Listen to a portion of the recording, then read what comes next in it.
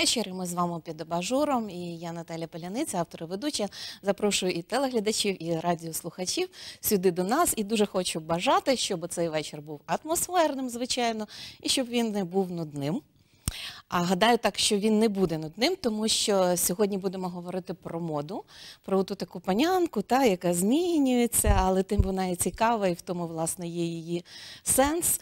І е, сьогодні будемо говорити і про українську моду, звичайно, і також а, ми трошечки похвалимо, трохи покритикуємо, трохи почуємо історію. Все це нам здатно забезпечити. Сьогодні моя сьогоднішня гостя під абажуром це Зоя Звіняцьківська. Вона є фешн-критиком, вона є історикинею моди, вона є культурологом і вона є мистецтвознавцем. І я вас її знайомлю. Вона сьогодні приїхала на запрошення Хмельницького обласного музею на лекцію і потрапила до мене на бажур, чому я дуже тішуся. Добрий вечір. Добрий вечір. Дуже рада бачити вас. Рада бути тут. І вітаю Хмельницькому, звичайно. Дякую. Зоя, дивіться, на сьогодні українська мода однозначно це є частина світової моди. Так, от відбулася ота глобалізація, вона ще відбувається. І от хочу почути від вас, людини, яка дійсно багато і по світу їздить, яка вивчає українську моду, світову моду. Чим на сьогодні от вирізняється отой хлопчина, дівчина, скажімо, з Хмельницького, там з Києва та з України від тих е, хлопчаків, дівчат модних, скажімо, з Європи, з Америки, неважливо. А, знаєте, е, майже нічим. І е, цю фразу, вона коротка така, але її можна промовити з захватом, а можна і з сумом. Чому? А тому, що майже нічим, тому що нарешті ми стали частиною світу, як ви влучно помітили. І нарешті е, глобалізація дісталася до нас, і ми дихаємо одним повітрям з Європою, і ми такі самі, як вони. І це класно, і це те, про що ми мріяли, і до чого ми йшли. Але а, це відбувається ціною втрати самобутності е, певним чином. Так, сьогоднішніх там 15-річних, 18-річних не можна відрізнити. Погодьтеся. Ні, ну по суті, я щойно повернула з Угорщини, і я можу абсолютно засвідчити. Та Саме Австрія, про те я й кажу. От Абсолютно, Підлітки на вулиці, як ви їх відрізните? абсолютно такі самі. Точно. І це класно, бо ми Європа, а з іншого боку, ми щось втрачаємо, можливо, незворотньо. І це відбувається і через те, що ці зміни, ця глобалізація, ця Європа дуже стрімко до нас підійшла. Тобто ми не зростали в цьому е, логічно, крок за кроком, день за днем, а воно все на нас навалилося. І ми зараз ризикуємо втратити ну, певним чином, абсолютно, це ж все умовно, трат- втратити свою якусь таку ідентичність, але ж знов таки. Чого вартує ідентичність, якщо ти не є частиною Світу. глобального світу? Тобто це питання, на яке немає. Ну я тепер немає зрозуміла, чому ви чому ви сказали і сумом і захопленням одночасно. Ну напевно, це ви правильно абсолютно сказали. Це незворотній абсолютно. Але тут тепер вже виникає, як то кажуть, ну певна задача от перед нами, перед тим, хто займається фешн-індустрією, зберегти от той колорит. Якщо ви вже от одразу так пішли на цей шлях, то давайте тоді вже поговоримо дійсно і про те, що є суто українською, скажімо, модою, що е, від чого не варто відмовлятися, та що варто зберігати, і що взагалі є е, отим стержнем української моди. Ем, якби я знала відповідь на це питання, то вже я, мабуть, якусь докторську дисертацію я захистила десь там. Ну ви дуже багато вивчаєте. Ви, ви читаєте лекції, Ну, власне, так. з історії розвитку моди. Я хочу навести кілька прикладів, Так. які мені е, видаються вражаючими. Вони абсолютно актуальні. І я вважаю, що це саме є той шлях, якщо ми говоримо про збереження самобутності і не втрачати ну, темпу, а йти там. е, крок за кроком в глобальний світ. Для мене є два таких приклади. Тобто, це є реальні дизайнери, в них є реальні прізвища, але я б хотіла поговорити про принцип. Так. Принцип перший. А наша вишиванка славетна, Я наша так і знала, улюблена, що ви- прекрасна, Так, так, чудова. А яку зараз ну в останні 5 років її використовують будь-який спосіб, і як декоративну, і як символічну, і як прапор, і як висловлювання, І як сувенір. і як сувенір, все що завгодно. Але серед цього всього розмаїття, цього всього натовпу людей, яким це займаються, є кілька дизайнерок. А якщо чесно, одна перша, яка це придумала, Мгм. приміром, її прізвище Віта Кін. Так. Що вона зробила?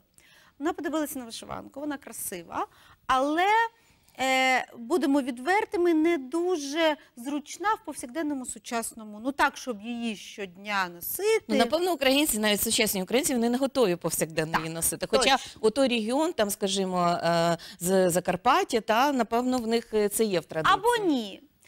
І вона е, подивилася на потреби сучасної людини. Це дуже важливо. Так. Без жодного огляду на національне, патріотичне, просто якого одягу потребує сучасна жінка. Мгм. Ну, Мгм. багато якого. І вона подивилася, що є такий е, відділ жіночого одягу, який завжди потрібний. Е, одяг для відпочинку влітку. На березі моря, уявіть собі, пройтися там, я не знаю, Ну, це сміливо, вишиванка на березі узбережжям, моря. узбережжям, там ресторан ввечері, коли ти на відпочинку. Ну, це я більш собі уявляю, тобто, так. Хочеться вдягти щось красиве, воно Легке. легке. Зручне. О, воно має бути з натурально Практичне. натуральних якихось ле- воно дихаюче має бути. І, мабуть, якесь таке, ну, більш-менш урочисте. Тобто вона перетворила українську вишиванку, яка була для іншого створена, в іншому світі існувала, з іншим посилом. Вона перетворила її в чудові, чудові літні сукенки бохо стилю. Мгм. Це потрібно завжди. Уявляйте собі якусь французьку рів'єру. Якийсь чудовий вечір. Уявляю. Чудовий вечір, Ніцца, Кани, ви розумієте?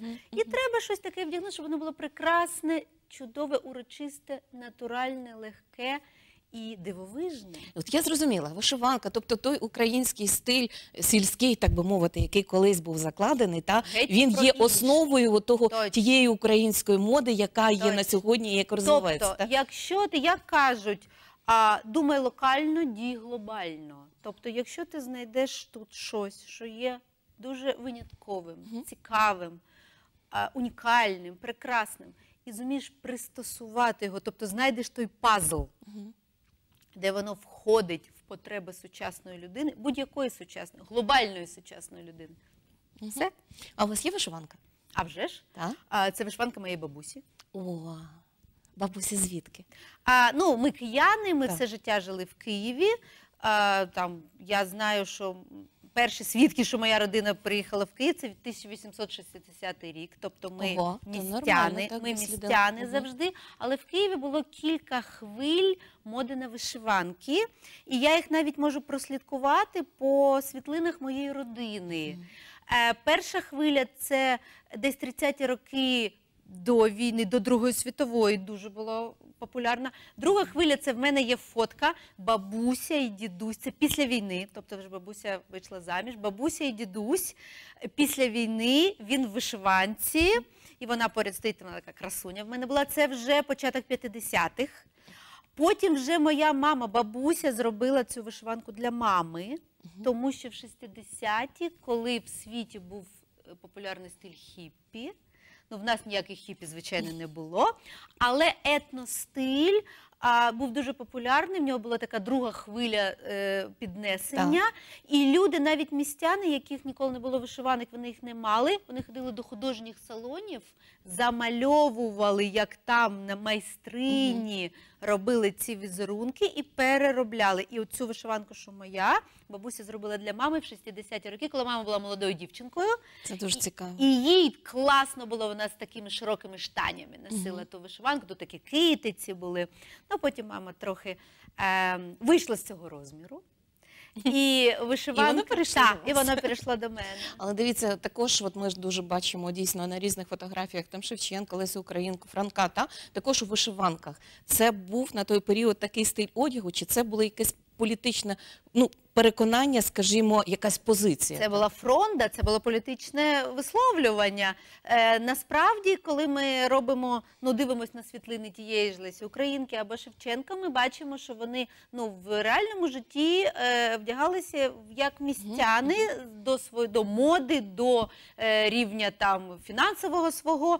І приміром, з, зі спогадів Лесі Українки ми е, бачимо, як вона там з сестрою щось обговорює, якісь новітні там сукенки, які вона замовляє. Тобто вона була абсолютно європейською пані. Але коли світлина, коли це було ну якось урочисто, завжди вишиванка, і є прекрасний спогад Лесі Українки, як вона відвідувала Віденську оперу і вдягнула вишиванку. Вона каже, це був шок. На мене дивилися, сиділи, ми сиділи в партері.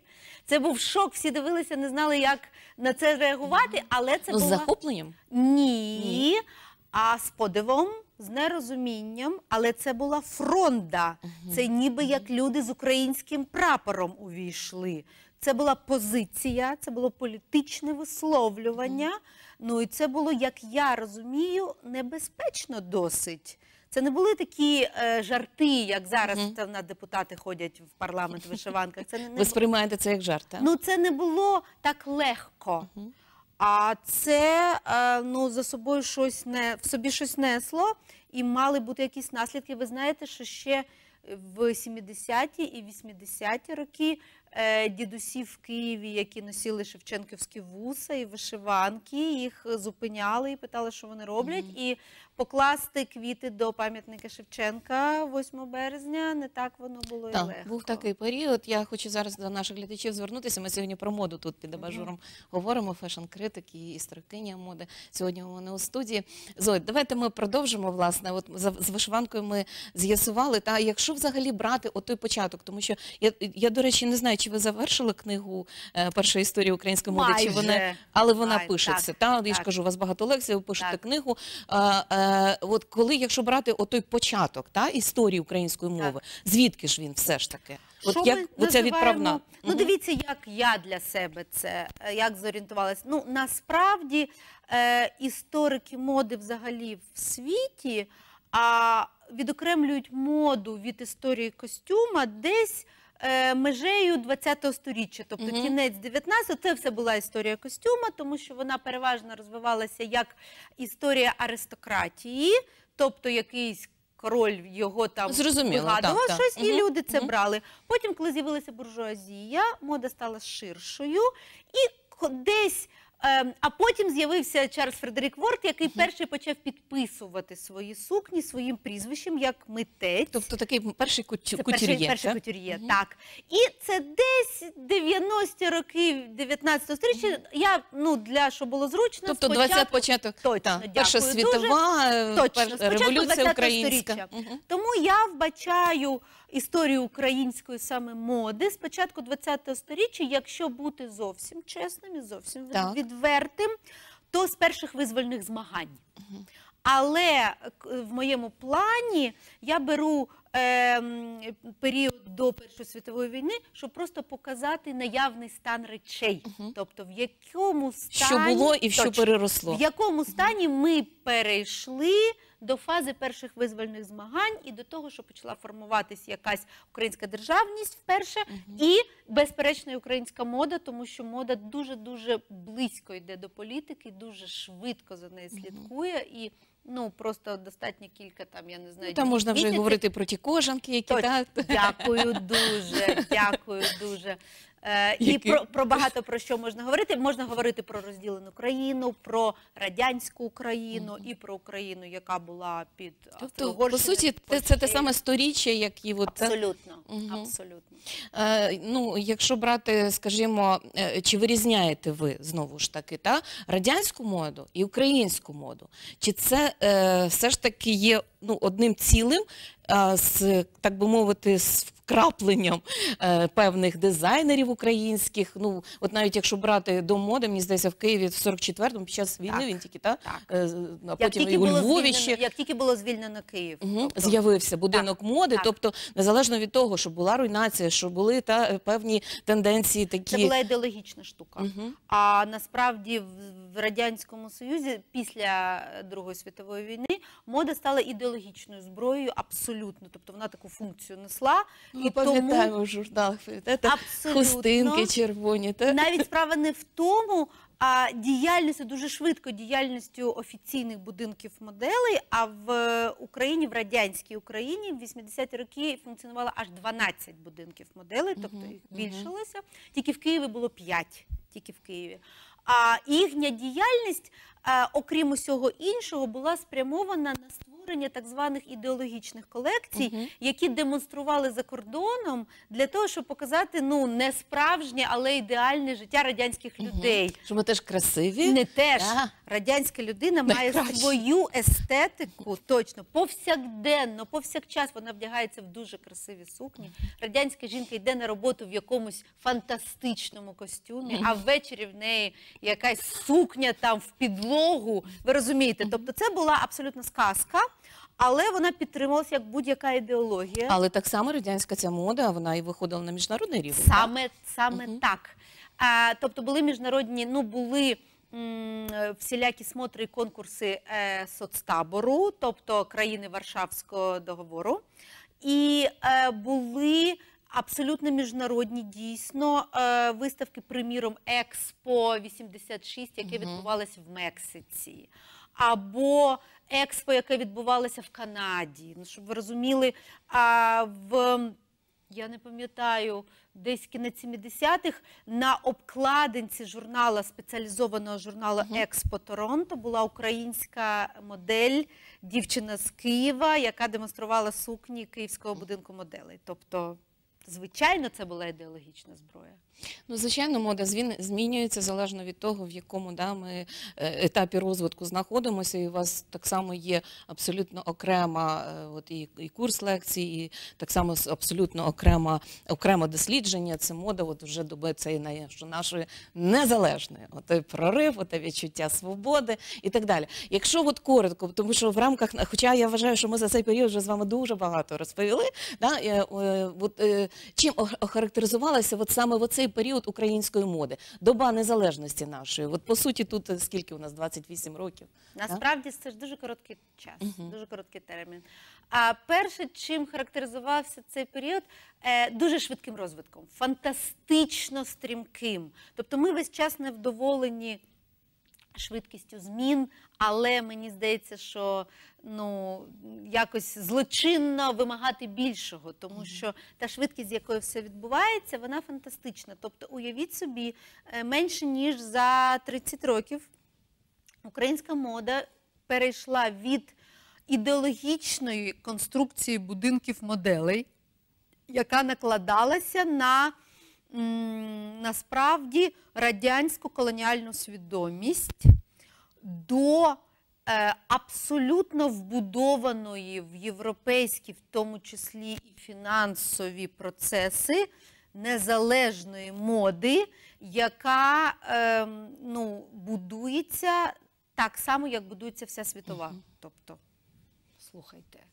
Е, було кілька етапів насправді. Тобто, перший було я розділяю на три етапи Мгм. цю, е, цей процес. Перший етап це був такий по 90-ті, умовно кажучи, коли паралельно існували ще й будинки моделей, і дизайнери будинків моделей, які вважали, що вони ну, мають величезну фору перед усіма, бо вони вміють шити, і вони вміють робити красиві сукні. І вони професіонали. І вони професіонали та, а тут- абсолютно єдині професіонали.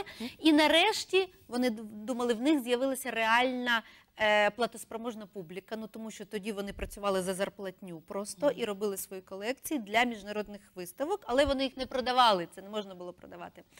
А нарешті з'явилася нова еліта, новий Мгм. істеблішмент. Люди почали приходити, платили шалені гроші абсолютно. Вони вважали, Аби що тільки отримати оту Ну, сукню таку дизайнерську, таку, яку нікого немає, не з потоку, так єдиному екземплярі з італійської тканини. Просто і сама дизайнерка тобі її презентує. Ну, це багато чого вартувало. Але е, виявилося, що насправді це не так працює, тому що з'явилася перша генерація тоді, перша генерація українських дизайнерів, які е, деякі з них навіть і не мали професійної освіти, але вони м, відчули цей дух свободи, цей дух змін, і ці І спроможності творити. Точно, Так? Навіженості, тобто те, чого потребує мода, мені здається. Так? Абсолютно, абсолютно. Е, коли я зараз запитувала, ну я робила виставку, я робила серію інтерв'ю з дизайнерами, які вони ж це ж 20 років, вони всі з нами працюють. Я кажу: слухай, от тобі там було 18 тоді років, да, і ти робив таку і таку колекцію. Ми дивимось на фото. Як ти сам для себе вважав, що ти робиш? І він так на мене подивився, як це каже: Кутюр. Я робив кутюр. Мається на увазі авторська робота, творчість, мода як, стиль мода як певний, правда ж? мистецький Мгм. витвір, мода як художнє висловлювання. Тобто е, ця нова генерація стрімко увірвалася в світ моди, і насправді е, вся увага була прикута до них. Тому що е, суспільство було дуже спраглим за модою як видовищем, адже в радянський час ну, це нам дуже складно уявити. Я повсякчас це повторюю, підкреслюю. А в Радянському Союзі було багато більшість жінок ніколи в своєму житті не бачили показу мод. Ну це ж так просто. Але ні по телевізору, ніде. Напевно, того з такою жадібністю ми дивилися вже тоді, коли вже відбувся Так. прорив, та оту бурду, Так. там чи Все, ще журнали, Все, що які з'являлися, навіть ту саму українські, там жінка, тоді вже теж з'являлися а певні потім фото е, цікаві. була доба. Ем, фестивалів моди. Я, вони були в Києві, але я знаю, що вони були не тільки в Києві. Вони були і в Одесі, вони були де завгодно. Вони були і в учбових закладах, Так. до речі. Так. У нас же ж теж є кафедра дизайну. знаю. Це ви маєте її відвідати А я знаю, бо кафедра дизайну ваша завжди приїздила до Києва, і ви і ваші студенти брали участь в наших конкурсах, і це дуже потужна, Потужна, кафедра. це правда. Це пра і Хмельницький завжди був присутній. Я пам'ятаю. Тобто, і коли появи- з'явилися фестивалі, покази мод, люди не могли надивитися. Вони навіть не розмірковували про це як речі, які можна придбати. Це було видовище. Видовище, однозначно. Мода як видовище, і це було абсолютно нове видовище, за яким люди І яке давало їм знову ж таки Точно. нові знання, нову енергетику і Абсолютно. е, новий поштовх до того, що ти можеш досвід, змінюватися. Ти можеш бути іншою, ти того потребуєш. Так. Так. Я буквально ще декілька хвилин е, під абажуром програма. Зоя Звінитківська сьогодні у мене в гостях. Говоримо про моду українську. У нас ще буквально декілька хвилин, і дуже хочу, тому що це цікава така тема. Я розумію, що ми зараз її не розгорнемо, але хоча б чисто от ваші якісь знаєте сприйняття. Це авангард. Так. От, от е, знаю, що ви проводите теж такі воркшопи, чого би я ніколи не вдягнула. Чого би ви ніколи не вдягнули? Ну а я одразу скажу, що коли я проводжу ті воркшопи, я пропоную людям вдягти те, що для них неприйнятне, але я одразу їм кажу, що я візьму участь разом з ними, Так. щоб це було чесно. Тому в мене є конкретні відповіді. Е, Два рази я брала участь. Міні-спідниця, Так, дуже коротка міні-спідниця, е, леопардова блузка. це є для вас не прийнято. Так, ну я так не вдягаюсь. Міні-спідниця і дуже високі підбори. Тобто самі по собі підбори нормально абсолютно. Міні-спідниця теж нормальна, але разом для мене неприйнятна. Тобто І- ви от е, І така в мене була якась квітка в зачісті. така руйнація власних меж Так. відбувається. Наскільки це е, прогресивно для самої особистості? От, наприклад, що, так. знаєте, що найцікавіше? А і в мене не тільки треба вдягти те, що ти ніколи не вдягнеш, а ще є умова прийти на лекцію, яка відбувається в центрі міста, не в таксі приїхати, а прийти з е, А, звичайним містом, шляхом. щоб побачити, почути реакцію. щоб ну, е, бути з людьми. Так. Якщо ти їздиш на метро, треба поїхати на метро. Якщо ти їздиш автобусом, треба поїхати автобусом. Тобто це обов'язково. І коли я сиджу, ну я ж перше приходжу, чекаю вже на людей, і я ніколи не знаю, хто візьме участь в проєкті, а хто ні, бо це добровільно абсолютно. І раптом відкриваються двері, заходить дівчина, і я кажу. О, я бачу, на превеликий жаль, ви не взяли участь в нашому проєкті. Вона каже, як це не взяла? Тобто, а головний висновок, який я е, з цього форшопу зрозуміла, те, що нам здається неприйнятним, Так. жахливим, Так, на так, тебе всі дивляться, ніхто навіть не помічає. Тобто, наші Тобто це ми самі жахи- собі закладаємо в оті. наші Та? жахи в нашій голові, Мгм. наші обмеження в нашій голові, наші страхи, наше все. Люди кажуть, я кажу, то ви прийшли як звичайно. Каже, ви що як звичайно? Це ж оце воно неприйнятне. Я півночі там думала. Тобто людям, по суті, байдуже, у чому ти вдягнутий, так? Ні, люди люди по суті виглядають гармонічно будь-в чому. Головне, як ти себе відчуваєш, так? Точно. Люди самі Тобто, якщо ти собі- вже це вдягнула, значить ти сприймаєш, що це Так. є твоє, от люди в даний момент. самі Так? собі в голові будують кордони, самі себе обмежують, заганяють в кут, самі себе сварять, самі себе не пускають гуляти і самі собі не дають вечеряти. Я так зрозуміла, що поменше слухайте інших і тих, хто навколо, і взагалі поради е, модних кутюр'є. Та слухайте себе, розмовляйте з собою, одягайте те, що ви хочете. Жити, Тобто у кожного своя мода, жива мода. Домовитися з собою. Якщо ти живеш ну, в мирі, якомусь злагоді з собою, ти будеш виглядати перфектно. Ти з мода не має жодного значення. Якщо ти е, любиш себе, якщо ти себе собі дозволяєш щось, якщо ти пробачаєш себе, якщо ти ставишся до себе поблажливо і уважно. Е, Ти будеш виглядати гармонійно. А мода, вся мода спрямована на те, щоб людина виглядала гармонійно. Просто стилісти ну, знають якісь там вправи для цього. Вам пасує цей колір, не пасує цей колір. Ну ви розумієте, це просто механічно робиться. Тобто ми даємо якісь певні е, механічно робиться. Це так, як певні але- доріжки, по яким ви можете йти. Але а ви собі... якщо ти живеш у злагоді з собою, ти будеш виглядати абсолютно ідеально будь-в чому. Е, головне з собою домовитися. Мгм. Ну я принаймні сьогодні перед собою точно побачила людину, яка живе в злагоді з собою, Дякую. яка вже давно домовилася з собою, намагається домовитися із іншими, принаймні допомогти їм з ну е, зрозуміти оту гармонію, оту так як то кажуть, золоте золоту середину Насправді для себе. звільнити їх. Всі люди гармонійні. Всі люди, вони від природи гармонійні.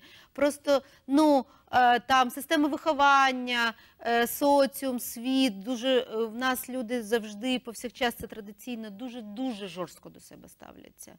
Люди не люблять себе, бо в нашій культурі цього не було. Люди дуже дуже непоблажливі до себе. Звільнити їх. Всі люди прекрасні, всі люди гармонійні, вони не дають собі волі.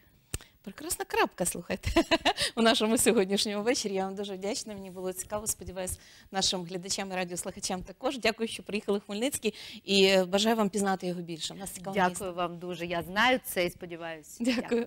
Також дякую нашим глядачам, радіослухачам, які дивились, слухали програму під абажуром. Обов'язково ми з вами ще зустрінемося, побачимося, почуємося. З вами була Наталя Поляниця. Всього вам найкращого.